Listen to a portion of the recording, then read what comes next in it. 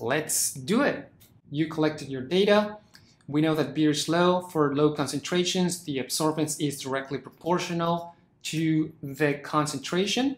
In that case, the proportionality constant is given here by the molar absorptivity times the cell path length, which is basically related to the length of your cuvettes. You have this equation for Beer's law.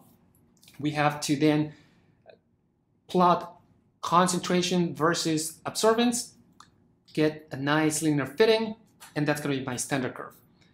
Then if you did this in the lab and you repeated the measurements, duplicates, triplicates, or more, then you can do run some statistics particularly the average and the standard deviation. We're going to be using the standard deviation to put error bars in your plot.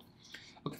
First step, instead of using the range of cells, let's select wherever you have your data. Under Home, look for Format as a Table. Select any of these that you would like, and then make sure that you have My Tables has headers. The first row in those tables are usually just the labels for uh, the data. And there you go. Now, one of the things that it's very important and useful about the tables is that every single time you add data, either in a column or a row, Excel automatically expands the size of your table, keeping the same format and everything. So let's actually test it. We have now different measurements for the absorbance. What we can do is calculate the average of those absorbances, and this is going to be the average of the measurements that I have. And then you see, automatically created that or expanded that table. So let's enter the values. It's equal to average and then give the values, these three absorbances. And this is what I like about the tables. Just hit enter and automatically you fill up all the rows in this column. And this is particularly useful when you have a very long set of entries. Now, be consistent with the measurements make sure that your absorbance in this calculation, in the spreadsheet, it's also given to three decimal places. Next step, we have to correct for the background signal. What is the background signal? For the concentration zero molar, you will be expecting that you get zero absorbance. But your instrument has this background signal, some response that you have to subtract from the other measurements to make that correction. Okay, now let's call this one absorbance, and this is the one that we're actually going to be plotting, equals this minus the background signal. Now this is very important because the background signal is always the same, it's not going to change. For that, we're going to be using absolute references with this dollar sign. The way that we do that is we put dollar signs around the letter designating my cell. There you go. Hit enter automatically fills it up. And you can see that in every single case, it's always taking minus E17 as I go through those cells. So this is a, an absolute reference, fixes that value. Good. The next step is going to calculate the standard deviation for my sample. And this is the standard deviation on the absorbance. We're going to be doing standard deviation pick this one that has to do for a sample. We have only three measurements. So select that, close parentheses, hit enter, and again, make sure that you are consistent. There you go. We have everything that we need to now construct the standard curve. For that, another thing that I like about tables is that instead of selecting the range of cells, which will be very annoying if you have a very long list, you can only just go to the header and you can see how the mouse is changing from the cross to this arrow. The moment that you see the arrow, you can just click your mouse and it's going to automatically select all the elements on that column. Go to the absorbance that it's being corrected for the background. Make sure that you have the arrow, select all those. Now you have these two columns selected. Go to insert and we're gonna insert this XY scatter plot. Now, another thing that I'm going to suggest you in general, make sure that you format all the elements on that graph such that it's easier to read. I'm gonna be doing it here. I'm gonna speed up the video. You can see what I'm doing.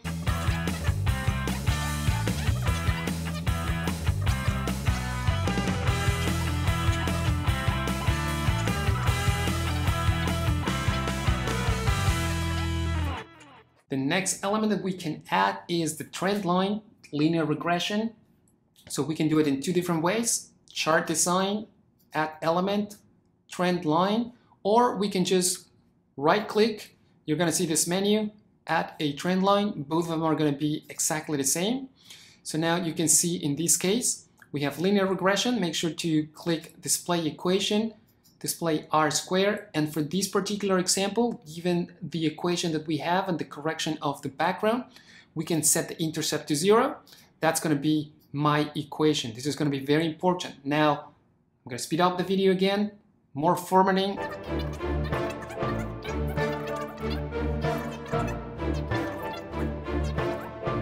Excel is going to give you the equation of that line in terms of x and y, but really y is equal to absorbance, the slope that has units times the concentration with the compatible units. So when you multiply them, you get an absorbance that is dimensionless.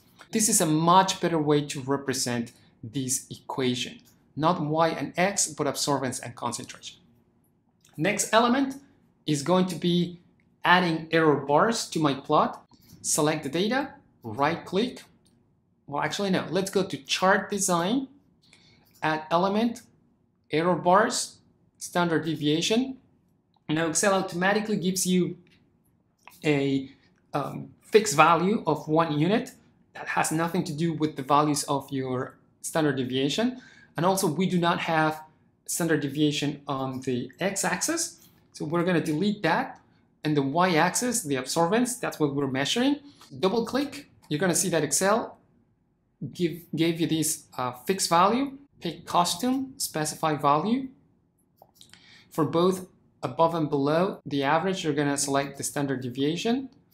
For both of them, so now you can click OK.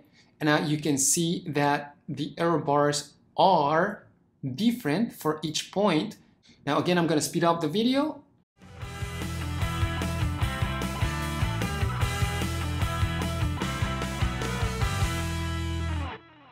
Now we are ready to use the equation that we got from the linear regression in order to calculate the concentrations of the unknowns we can just directly use and solve for the concentration. But instead of doing that, I'm gonna show you yet another function in Excel that it's gonna be the statistics for your linear regression. This function is gonna give me a series of values, all of those in here, that are gonna be useful uh, in other circumstances. So if you're watching this video and you need any of all of these functions, definitely this is what you would like to do.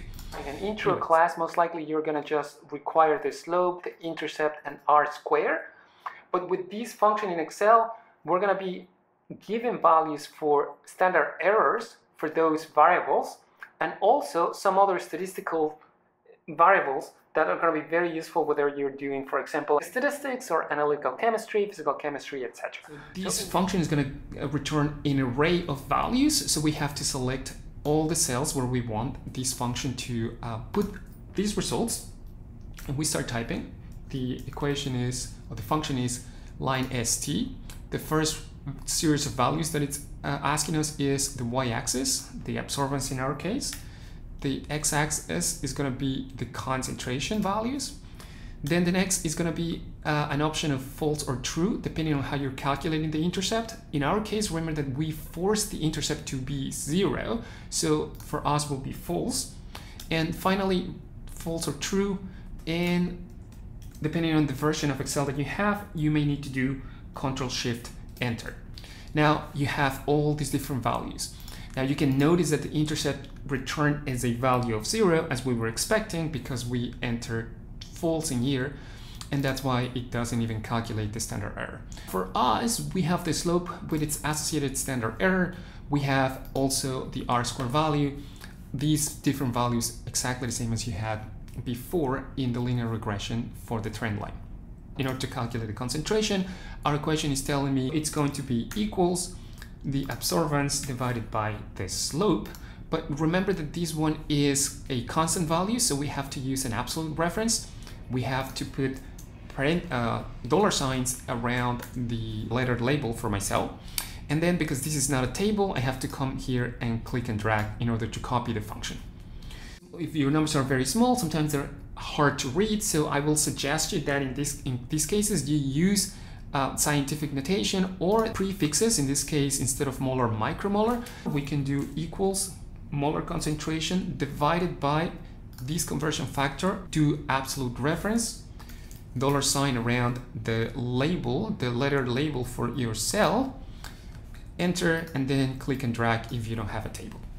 And basically we are done. Now we have completed everything that we needed for the standard curve, in this case for Beer's law. Please let me know if you have any questions, but for now, good luck.